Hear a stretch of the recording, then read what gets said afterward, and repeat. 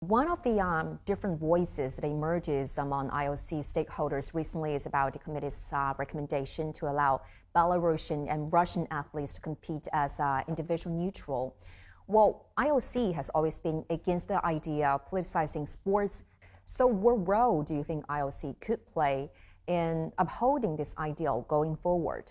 Uh, there again, it's about our values, and uh, our mission is uh, to unify the world. Uh, that means uh, to bring uh, everybody together in a peaceful competition. This we can only achieve if we are politically neutral. it does not mean that we ignore politics. You know, right, not apolitical to it. No, the world is run by politics and not by a sports organization. Mm -hmm.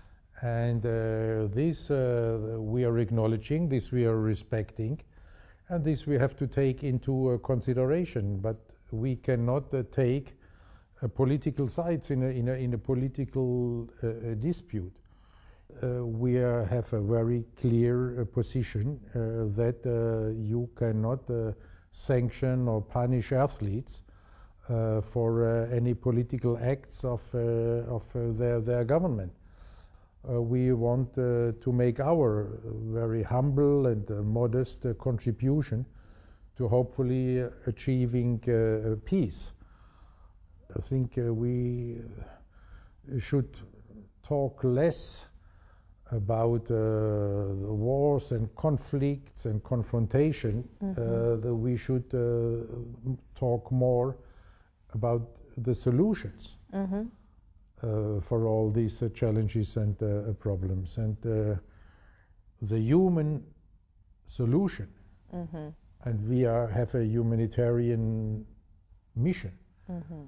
The human solution is peace. And you have also previously said that the Olympics should be a haven from uh, politics. I was for the first time really confronted uh, with this uh, contradiction between uh, the role of sport and politics. And uh, this was at uh, the Olympic Games in Montreal, 1976. There, I, I, was as an athlete there, and one morning, I was uh, looking out of uh, the window of our room in the, the Olympic uh, Village on the, and saw on the main square a big number of African, apparently African athletes, mm-hmm. uh, standing there, you know, with luggage, uh, all with uh, hanging heads, and uh, some of them you could see, you know, that they they were crying and. Uh, uh, holding each other and trying to, to, to gain some strength and and then I was told, uh, oh, they, they have to leave uh, the Olympic uh, Village because their governments are calling them back uh, because of a political boycott of, uh, of uh, the games. And, you know, this was an extremely sad moment. Four years after, uh, with the boycott uh, and the discussion in my country about the boycott, uh, for me was already based on this on this experience from '76, and this is why I was fighting with all the small force I could offer uh, there as uh, the athletes representative, and uh, then we lost this fight.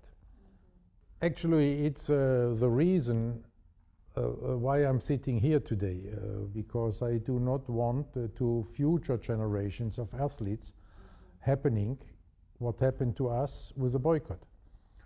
And this is how it started in the in the sports management uh, side mm -hmm. for me.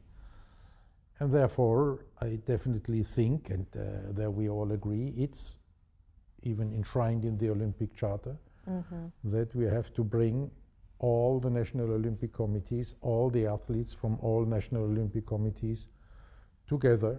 And uh, this is why we're also working hard uh, to uh, have all the 206 uh, NOCs uh, then hopefully next year in Paris.